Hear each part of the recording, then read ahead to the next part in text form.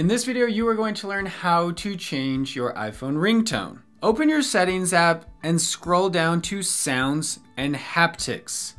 I don't even know what haptics is. And on this screen, you can change your iPhone ringtone. Down here under sounds and vibration patterns, the first option is ringtone. So that's the tone of like when your phone rings, like when someone calls you. But there's a ton of other tones here. So like there's tones for getting a text, a voicemail, all that stuff. You can change the tones for all those individually. But let's just say for ringtone, you can tap on ringtone, scroll down, see all the different ringtones that are available, or you could even go to the tone store if you want to buy like a fancy fun ringtone. Or you can download purchase tones from like your iTunes account if you have purchased them on a computer or something. Yeah, you can just tap right here and oh man.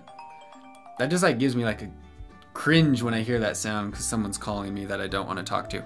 But that is how you change your iPhone ringtone, guys. If you like this video, give me that thumbs up. I'm Andy, you're watching Learn How. See you in the next video.